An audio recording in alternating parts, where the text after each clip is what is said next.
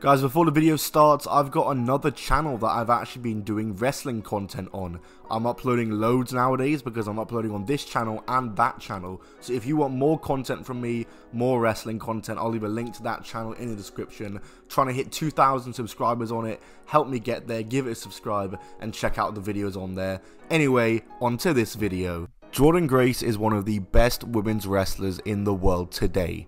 Not only that, but she is an absolute machine. She adopted the nickname of Thicc Mama Pump, which is obviously inspired by Big Papa Pump, Scott Steiner. So like, her and Scott Steiner teaming up is just like the most fantasy booking team of all time. How awesome would that be? Could you imagine that? Well, you don't have to imagine it because they have teamed up before as well as with Petey Williams and they have had three matches together. Team Pump. We're watching all three of them today. We're going to talk about them. What's going on, guys? It's Tom Option Wrestling, and welcome to a video talking about when Scott Steiner met Jordynne Grace.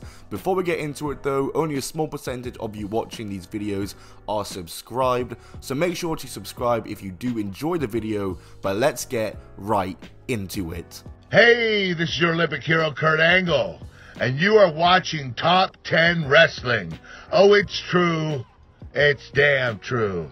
Match number one PT Williams, Jordynne Grace, and Scott Steiner, who nearly falls trying to get on the middle rope, and also gets on the mic and says that he's going to have two or three freaks following him back to his hotel and tells the snowflakes to Google Steiner maths, then cuts the maths promo where he mentions Jordan Grace as his X Factor, then spanks her, and then rambles about sex and drugs awesome Scott Steiner promo. They're up against Jervis Cottonbelly, Ryan Taylor, and Dicky Mailer, and they are at Impact Unbreakable 2019. Pete Williams and Ryan Taylor start off, they do some basics before Jordynne Grace and Jervis are tagged in. Now this is a showdown. Jervis shakes her hand, but that backfires as she tries to get him to say uncle, and then Jordynne Grace proceeds to destroy Jervis, who even tries to give her flowers, what a gentleman, but it ends with him being chokeslammed, and then she tags in Steiner to a huge pop and a huge ovation, are we even surprised?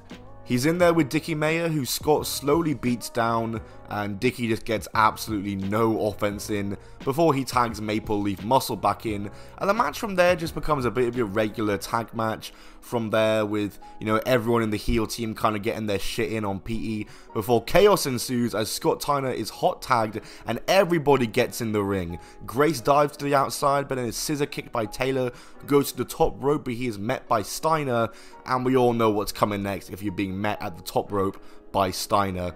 Scott Steiner slowly but surely hits the Frankensteiner to a huge pop. Meanwhile, PE hits the Canadian Destroyer on Jervis, and Jordynne Grace hits the Grace Driver on Mayer. They all lock in the Steiner recliner, and all three tap simultaneously. The fans are going absolutely nuts. What a great finish, and just a fun little novelty match. So this match right here would be the one time we'd see Scott Steiner, Jordynne Grace, and Petey Williams team in Impact, because the next two matches we are going to be talking about from a different promotion that I've never talked about on the channel before. We're going to be talking Chikara. Oh, also, uh, at the end of the match, Steiner spanks Jordynne Grace again. Nice one, Scott. Good stuff. Match number two from Chikara King of Trios Night 2. Team Pump up against Nick Gage, Kris Statlander, and Thomas Santel. Good lord, what a, a star-studded match. They go by the name MDK. What a, a star-studded match. I need to see Scott Steiner and Nick Gage in the ring together. Oh my god. The match starts off with Santel and PE taking off and swapping glasses, and now neither of them can see, so they swap them back. Uh, Scott Steiner probably has no idea what's going on here. Thomas and Petey have a really nice technical matchup, and I get really good stuff. But I'll also be real, this is probably the last combination of wrestlers I want to see in the ring. I want to see Grace engage, or Steiner engage, or Steiner and Kris Statlander.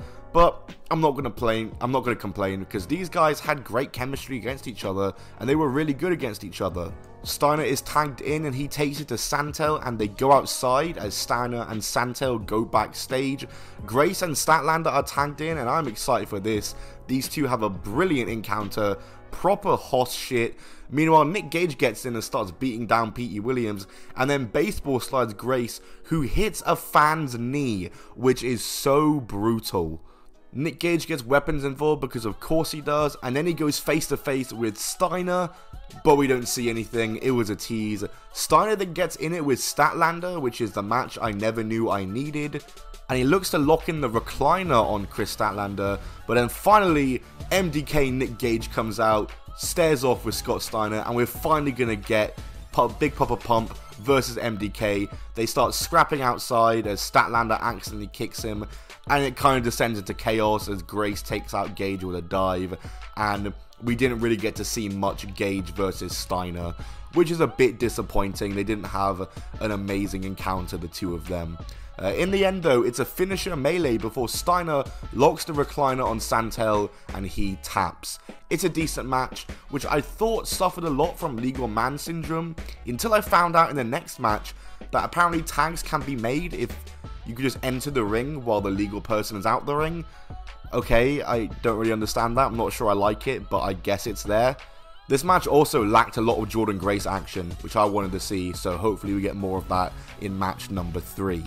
Match number 3, Team Pump versus Adam Hoffman, Jack Bonza, and Mick Moretti. No clue who any of them are. Um, they're all Australian based from what I found out. And this is from Chikara King of Trios 2019, Night 2. It is the King of Trios quarter final. Steiner gets a mic, but PE takes him off him before we can get a word in because we do not want to give Scott Steiner a live mic. Then Grace gets a swear jar from under the ring, and they tell Steiner he owes a lot of money. He's so baffled by all of this, but he does pay up as he puts some spare change in there.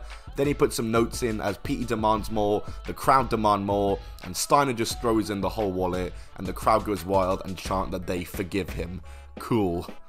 Jordynne Grace and Bonza, I think, start off uh, and they do about 100 hip toss reversals.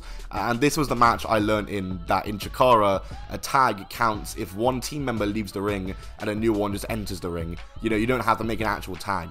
Those rules are still in place, but tags can be made that way.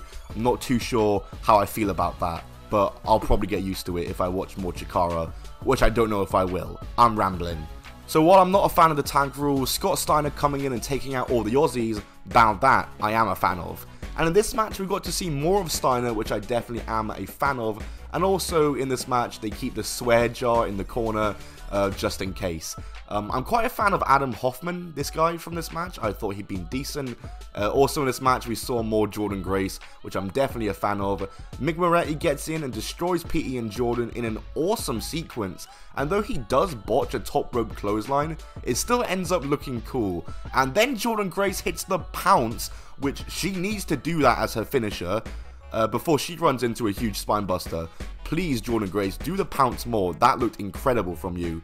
There's a triple recliner locked in, and I thought this would be it, but they all get out of it. They hit a cutter on Steiner, then hit some cool triple team offense on him, then hit their trio's finisher called the Nation Bomb to pin PE and win the match here. This is a great match, probably the best one I watched today, and I think I'm a, I'm a fan of the Nation.